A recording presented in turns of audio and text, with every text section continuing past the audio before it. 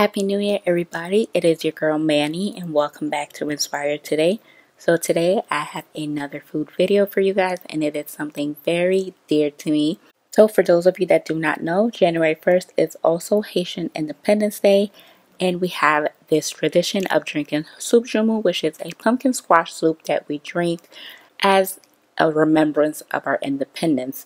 So on January 1st, 1804, island of Haiti gained its independence from the French to become the first free black nation in the North Americas. The history or legend behind the soup is that it was a delicacy reserved only for the French slave masters and the slaves were not able to indulge in it. So once we gained our independence, what was once forbidden had a new meaning and became an Independence Day soup. So if you guys like to see my version, which I'm making a vegan, vegetarian friendly version, continue to watch and comment down below your some of your traditions. I will definitely like to know. Don't forget to share it, like, and let's get right into this video.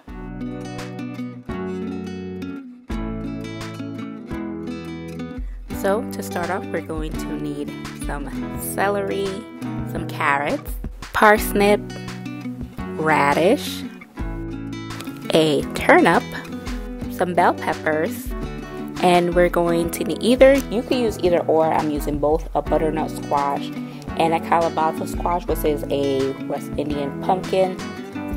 Either one you could use if you can't find the other.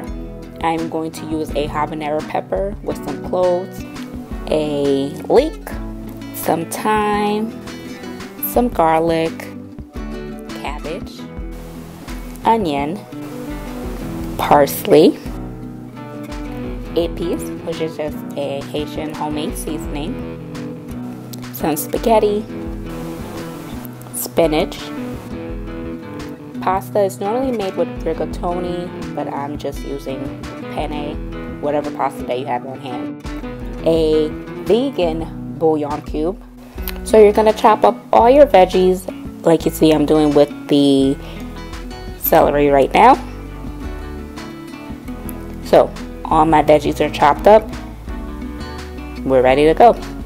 I just heated up some olive oil in a pot, probably like two tablespoons I did. And I'm just going to pour my veggies in there. You can make it with meat. If you guys would like to see a meat version or a poultry version, do let me know and I'll make it.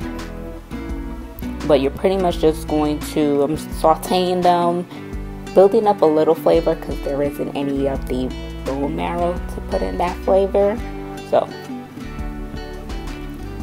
and I'm putting in all my other vegetables besides my greens and I'm putting a little bit of water in there just because the vegetables are going to make their own water just to sweat my squashes to make them nice and soft and on my other burner I do have some hot water boiling so I'm able to blend my squash with that and as you can see, I poked my cloves into my pepper because you do not want to bite into one of those. It just turns off the whole food if you do. Trust me, you don't want to. So now that all my veggies are steaming and my squash are nice and good, I'm just going to take them out of the pot and go ahead and blend them.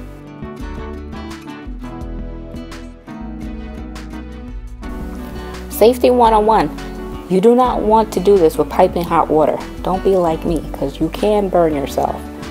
Do it with room temperature. Make sure everything you're blending is room temperature. Just a heads up. So once we're done blending all of that, I'm just going to pour it back into the pot. And you do want to go ahead and taste this. Want to taste it if it needs more salt if you need to add some pepper in it, this is where you want to do that just to build that flavor and get the flavor how you want it. As you're doing it, continuously taste it just to see what it tastes like.